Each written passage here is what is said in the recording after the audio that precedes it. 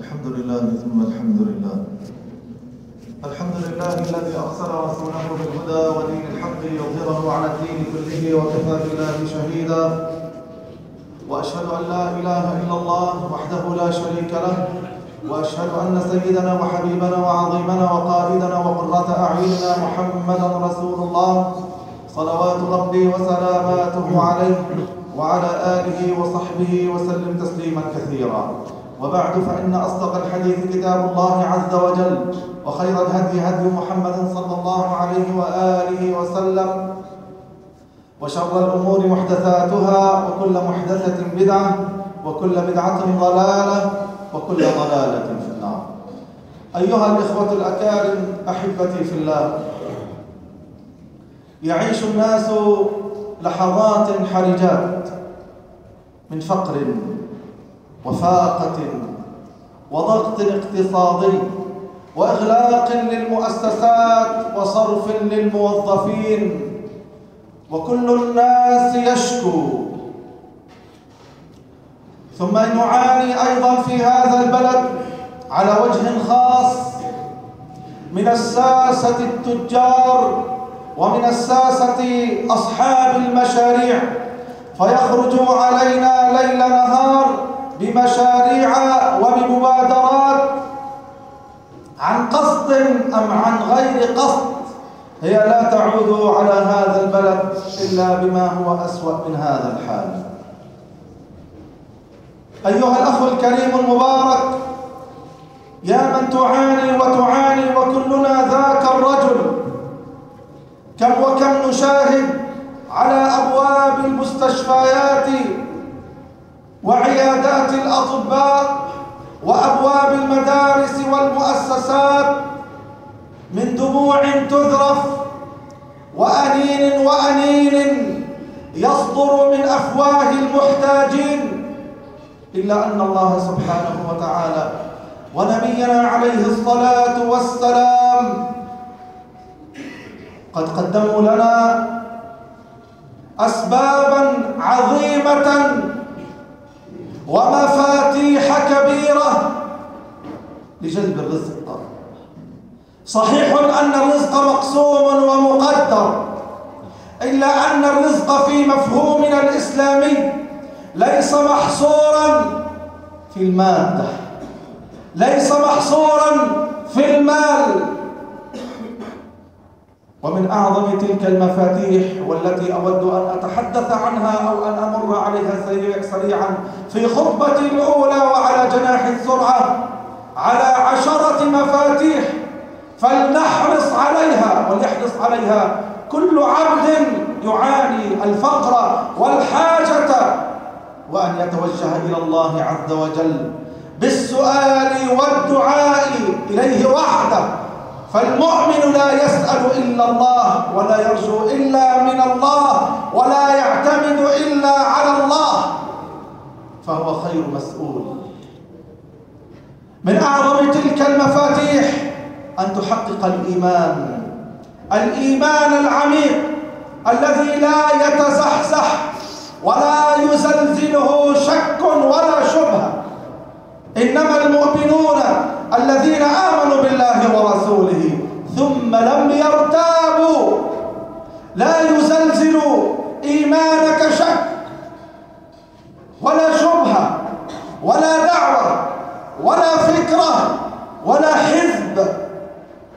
ولا شبهات تنشر على الفضائيات. تريد النيل من دين الله عز وجل. ومن منهج نبينا عليه الصلاة والسلام. فالخير كل الخير في شرع الله. وإن كان قطعا ليد بل وإن كان قطعا لرأس. إن كان هذا هو شرع الله فالخير فيه. والشر كل الشر في الأنظمة والقوانين الوضعية التي يصوغها البشر معرضين عن شرع ومنهج الله سبحانه وتعالى. فلا وربك لا يؤمنون. قسم حتى يحكموك فيما شجر بينهم ثم لا يجدوا في أنفسهم حرجا مما قضيت ويسلموا تسليما. إيمان التسليم والإذعان والخضوع بل والطاعة لله عز وجل. لن تحلم برزق وافر وبنعيم عظيم وأنت لم تحقق إلى هذه اللحظة. الإيمان واليقين برب الأرض والسماء. إنما كان قول المؤمنين إذا دعوا إلى الله ورسوله ليحكم بينهم أن يقولوا ماذا كان نقول سمعنا وأطعنا. وأولئك هم المفلحون. نجاح وفلاح في الدنيا والآخرة بإذن الله عز وجل. وما كان لمؤمن ولا مؤمنة إذا قضى الله ورسوله أمرا أن يكون لهم الخيار لا خيار لك أمام خيار المولى عز وجل وأمام خيار حضرة النبي عليه الصلاة والسلام.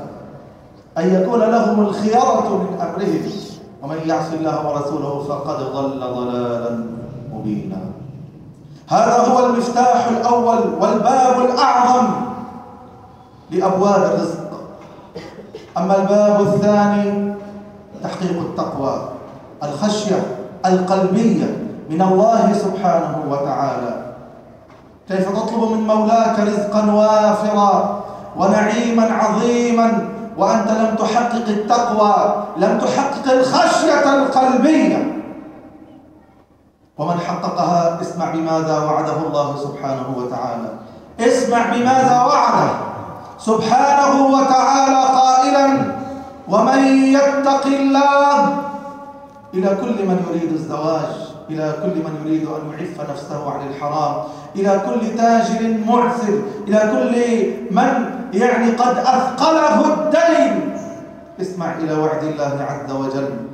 ومن يتق الله يجعل له مخرجا. ثم ماذا بعد؟ ويرزقه من حيث لا يحتسب. ومن يتوكل على الله فهو حسبه إن الله بالغ أمره. قد جعل الله لكل شيء قدرا. حققوا التقوى معشر السادة معشر الناس. وانعم بنعيم عظيم من الله سبحانه وتعالى. وهكذا وعد. أما المفتاح الثالث فهو الاستغفار. كلنا يذنب كلنا يفرط كلنا يقصر. كلنا يرتكب ما قد نهى الله عز وجل عنه أحيانا. لكن احرص ألا تسوف التوبة والعودة إلى الله عز وجل. فهي من أعظم الأسباب الذنب الذي يحجب ويمنع عليك الرزق الوافر والبركة في المال والعمر. قال تعالى فقلت استغفروا ربكم إنه كان السماء عليكم مدرارا ويمددكم بأموال وبنين ويجعل لكم جنات ويجعل لكم أنهارا. هل تؤخروا الاستغفار بعد ذلك؟ الزم الاستغفار في الليل وفي النهار. وانظر ماذا سيحدث لك وكيف ستشعر بهذا التحول العجيب. بوعد الله عز وجل. فقلت استغفروا ربكم إنه كان غفارا. يرسل السماء مصدر الخيرات عليكم مدرارا. ويمددكم هو نفسه هو سبحانه وتعالى بأموال وبنين ويجعل لكم جنات ويجعل لكم أنهارا. المفتاح الرابع والباب الرابع الشكر لله عز وجل. وإذ تأذن ربكم أي أعلم وأخبر. وإذ تأذن ربكم لئن شكرتم لأزيدنكم. والشكر لله عز وجل لا يكون في الكلام فحسب. تاجر قد وسع الله عليه في رزقه. قد اقتصر بشكره لله أنه يشكر الله تعالى بلسانه. بحمدك يا الله وبشكرك. ثم يرى ما حوله من نكبات ومصائب تعاني منها الأمة من إخوانه النازحين السوريين مثلا. ثم يحجب تتقاصر يده عن العطاء.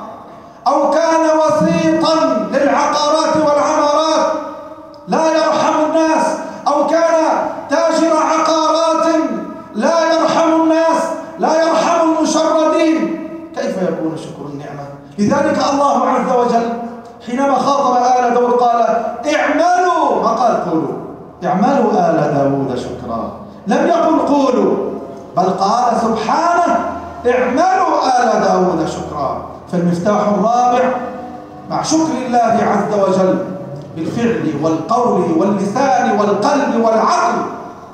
وإذ تأذن ربكم لئن شكرتم لأزيدنكم ولئن كفرتم إن عذابي لشديد. أما المفتاح الخامس وقد يستغرب الواحد منا هذا المفتاح. من يعاني الفقر ماذا نطلب منه؟ هل يعقل أن نطلب منه أن ينفق؟ هو محتاج هو فقير هو المفتاح الخامس من خلال الإنفاق لأن الله عز وجل وعده في الحديث القدسي أنفق ابن آدم أنفق عليك. والخطاب لعموم الناس أنفق ابن آدم.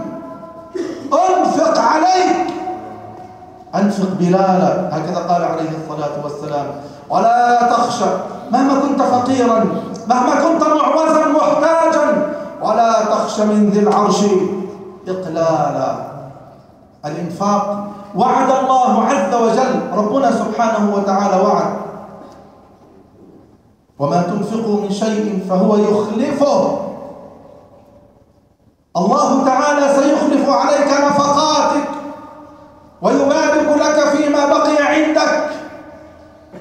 ما من يوم هكذا يقول حبيبكم عليه الصلاة والسلام.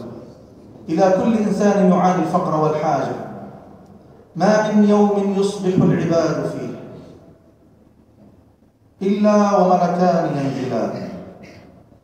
كل يوم مع صبيحة كل يوم. ما من يوم يصبح العباد فيه.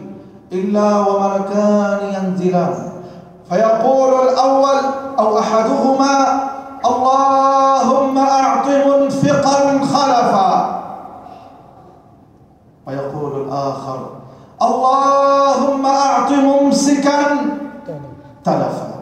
الذي أنفق في تلك الصبيحة مع فجر يوم من الأيام الله تعالى جعل ملكا ينادي ويدعو. اللهم أعط منفقا خلفا أخلف عليه الخير يا رب وجعل مناديا ملكا آخر. اللهم أعط ممسكا تلفا.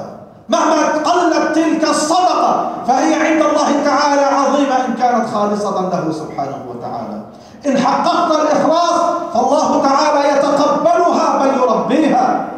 لتصبح أعظم من جبل أحد. 250 لراخ بإخلاص بإيمان. لا تريد أن يطلع عليها إلا الله. ولا تريد مكافأة ولا ثوابا إلا من الله. هي عند الله. والله تفوق الملايين في بعض الأحيان. متى حققت الإخلاص؟ أنفق أيها الأخ الكريم المبارك وسيخلف الله عز وجل عليك. أما المفتاح السادس وهذا النداء لكل شاب لكل أخ كريم قد أعرض عن الزواج بحجة في كل يوم ألتقي بعض الشباب تجاوزوا الثلاثين. لك يا أخي أنا ليش بتتزوج؟ يا شيخ العيشة صعبة قضية ما بتتحمل. ومين بده يعيش الأولاد؟ وهذا الكلام فيه سوء أدب مع الله عز وجل. بالمناسبة هذا سوء ظن بالله عز وجل. فيه سوء أدب مع الله. أخي اللي دبرك ودبر بيك وجدادك ما بدبرك ودبر أبنائك وأبناء أبنائك. صحيح ولا لا؟ قال تعالى وأنكحوا الأيام منكم. والصالحين من عبادكم وإمائكم. إن يكونوا فقراء يغنيهم الله من وين؟ من فضله. والله واسع عليم. وأنكحوا الأيام منكم والصالحين من عبادكم وإمائكم. إن يكونوا فقراء يقول عمر رضي الله تعالى عنه عجبت لمن يطلب الغنى بغير الزواج. فتغنى عليك بالزواج. يروى عن بعضهم أنه قال بالجمع وعد الله الغنى بالزواج وبالتفرق وعد الله الغنى أيضا. قال تعالى إن يكونوا فقراء يغنيهم الله من فضله والله واسع عليم بالزواج. وبالتفرقة وإن يتفرقا يغني الله كلا. يعني بزواجه الطلاق بيمشي الحال. وإن يتفرقا يغني الله كلا. حتى لو ما مشي حالك يغني الله كلا من سعة أما المفتاح السابع حسن التوكل على الله عز وجل. هذا الطائر الذي يطير في الجو عصفور طائر صغير الحجم ما عنده عضلات ولا عقل ولا دماغ ولا منطق. قال عليه الصلاة والسلام لو أنكم تتوكلون على الله حق توكله لرزقكم كما يرزق الطير. تغدو خماصا. تطلع مع الفجريات أو عند شروق الشمس. أمعاؤها بطونها خاوية. هكذا يقول عليه الصلاة والسلام في الفم وتروح بطانا وترجع قبل المغرب. بطنها ممتلئ. في نسور بتأكل معها. وفي مخلوقات بتاكل مع والله مدبرها. لو أنكم تتوكلون على الله حق توكله المشكلة في توكلنا. والتوكل كما عرفه ابن رجب هو صدق الاعتماد على الله في جلب المصالح ودرء المفاسد في أمور الدنيا والآخرة. صدق اعتماد القلب. لا يعتمد قلبك على مدير ولا على زعيم. ولا على نائب ولا على واسطة ولا على حاكم ولا على وظيفة ولا على أب ولا على تركة ولا على ميراث. إنما صدق اعتماد القلب على الله. قد يئس قلبك من الخلق. وانحرف نحو الله عز وجل.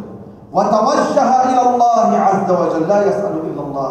لا يعتمد إلا على الله. لا يسأل أحدا من الخلق. من دون وظيفة ركعتين. ركعتان في جوف الليل مع دعوات من أعماق أعماق قلبك. الله سبحانه وتعالى يهيئ لك. لو أنكم تتوكلون على الله حق توكله لرزقكم كما يرزق الطير. تغدو خماصا وتروح بطانا. أما المفتاح الثامن فهو صلة الرحم. كم مضى من زمن لم تزر خالة أم عمة أم أخا أم أختا بل الأشد من ذلك. قد قطعت أما أم أبا. ونبينا عليه الصلاة والسلام يقول من سره أن يبسط له في رزقه. قديش لك يمكن لك أسبوع بعد ما زرت أمك الأسبوع. لك ما متصل فيها بالتليفون. ولا رسالة. مش بأولوياتك أما الجروبات والمجموعات ممكن.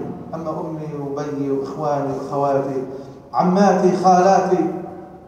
خارج دائرة اهتمام من سره أن يبسط له في رزقه. يفتح عليه في الرزق. وينسى له في أثره في عمره. فليصل رحمه.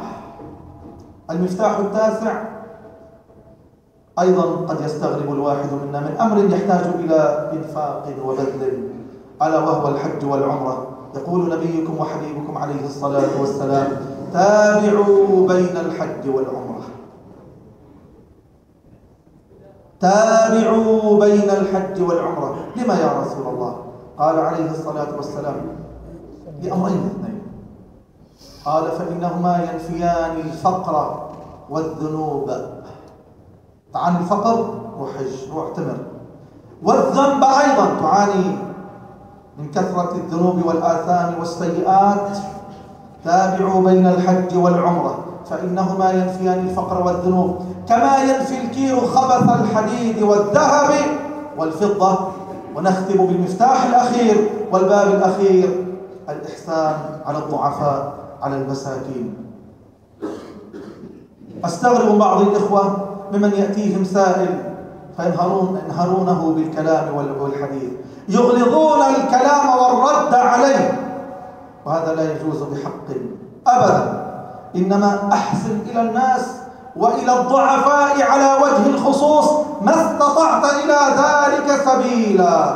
يقول حبيبكم عليه الصلاة والسلام هل تنصرون في رواية وترزقون إلا بضعفائكم؟ هل تنصرون وترزقون؟ عندك ولد مسكين ولد مريض. عندك جار فقير. عندك جار مريض محتاج. عجوز مسكين أرملة. هل تنصرون وترزقون؟ إلا بضعفائكم. توبوا إلى الله واستغفروه فإنه من تاب إلى الله تاب الله عليه. ومن استغفر ربه غفر الله الحمد لله رب العالمين والعاقبة للمتقين ولا عدوان إلا على الظالمين وأشهد أن لا إله إلا الله ولي المؤمنين الصالحين وأشهد أن سيدنا وحبيبنا محمدا عبد الله ورسوله صلوات ربي وسلاماته عليه وعلى آله وصحبه وسلم تسليما كثيرا. وبعد أيها الإخوة الأكارم ما جرى في الأيام القليلة الماضية من خلال هجمات مباركات وعمليات طيبات. نفذها بعض الشباب في الضفة الغربية وفي بيت المقدس. يؤشر إلى أمر عظيم وهو أن أهلنا في الضفة الغربية وفي بيت المقدس والقدس قد استعادوا تلك الإرادة العظيمة واستعادوا سلاحا فتاكا ألا وهو إرادة العمل الجهادي والعمل المقاوم. غابوا عن الساحة الجهادية فترة صحيح ذلك. ربما من أجل التحضير بارك الله تعالى بجهودهم. وقد تنوعت بل أبدعوا رغم الحصار والتضييق والملاحقات من الحجر ونراهم يبدعون في كل يوم لا يملكون حتى السكاكين. الكيان اليوم يدرس إمكانية منع السكاكين عن بيوت المقدسيين ويستبدلوها بأنواع غير حادة. فابتدعوا فكرة الدهس بالسيارات والشاحنات ثم بالمقلاع ثم بحرق الإطارات. وهم بفضل الله عز وجل سيستمروا في مسيرتهم حتى تحرير القدس والأقصى والأسرى بإذن الله عز وجل. لكن ما أود أن أقوله أن التاريخ يا أبناء هذه الأمة وعماء وساسة وقادة هذه الأمة أن التاريخ لا يرحم وأن التاريخ سياطه قوية ومؤلمة. ولن يرحم التاريخ أحدا. فالأقصى قد أغلق لفترة من الزمن. وهل علم أحد منا بذلك؟ عالمنا العربي عالمنا الإسلامي زعماؤنا وقادتنا مشغولون بل متحرقون في وعد وقتل والقضاء على أي تجربة ولو عنوانها غير إسلامي إصلاح إصلاحي كيف نجهز على التجربة التركية والتي لم ترفع الإسلام شعارا لها؟ كيف نجهز على التجربة المصرية؟ كيف نقضي على التجربة الإسلامية في ليبيا؟ كيف نقضي على الأحرار الثوار المجاهدين على أرض الشام؟ كيف نقضي على المجاهدين بل خزان المجاهدين على أرض اليمن؟ نبذل النفط والبترول والأموال أما أن يغلق الأقصى. هل سمعتم بردات فعل لذلك؟ لكن التاريخ لن يرحمكم. ولن يرحمنا! أين هي ردات الفعل؟ بل أين هو الفعل؟ لن يتحرك أحد. سيكتب التاريخ في صفحة كل واحد منا في عام 2014 بدهم يحكوا علينا بكرة أبنائنا وأحفادنا وذرارينا هي ظلمة بل سوءة في سجل كل واحد منا. في كل واحد صاحب عقيدة ومبدأ وضمير ودين. أنه قد أغلق الأقصى في حياتك ولم تحرك ساكنا. لقد فهم الرعيل الأول تلك الثلة المباركة التي رباها نبينا عليه الصلاة والسلام. أنه بعد أن اكتمل الدين لا يمكن لهم حتى على مستوى التصور أن ينقص وفيهم عرق ينبض أقام الدنيا ولم يقعدها الصديق رضي الله تعالى عنه. لو منعوني عقالا بك يا أخي حبلة. خير. كانوا يؤدونه لرسول الله لقاتلتهم عليه. الإمام أحمد رحمه الله تحمل كل أنواع الأذى ليحافظ على الكتاب على كلام الله عز وجل على القرآن. المعتصم يجهز جيشا عظيما ليلبي نداء واستغاثة امرأة. يأبى صلاح الدين ضحكة وابتسامة لأن الأقصى يئن ويرزح تحت أيدي الصليبيين. لسان حالهم جميعا في في سؤال إنكاري أينقص الدين وأنا حي هذا غير متصور أينقص الدين وأنا حي سيكتب التاريخ في سجلات حياتنا أن الأقصى قد أغلق لأيام أو لساعات سيتحدث عنا التاريخ ستتحدث عنا الأجيال فماذا لربنا غدا يوم القيامة. ما الفتح المحمدي الأول والعمري والصلاحي؟ قدم لنا لنسكت سكوت عار وشنار أن يغلق الأقصى. ولم نحرك ساكنا. نحتاج معشر السادة. وكل واحد منا يحتاج إلى ذلك إلى وقفة متجردة. خالصة. مع الله سبحانه وتعالى. ماذا قدم وماذا سيقدم للقدس للأقصى وللأسرى؟ اللهم صل على نبينا محمد في الأولين. صل على نبينا محمد في الآخرين.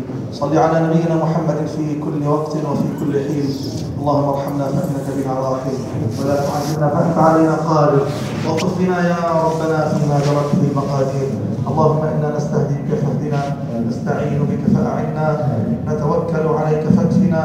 نستغيث بك فأغثنا. يا الله. اللهم يا ربنا يا إلهنا يا رجاءنا حبب إلينا الإيمان وزينه في قلوبنا وكره إلينا الكفر والفسوق والعصيان. واجعلنا من عبادك الراشدين. وسع علينا يا ربنا في أرزاقنا. وبارك لنا يا ربنا في أرزاقنا.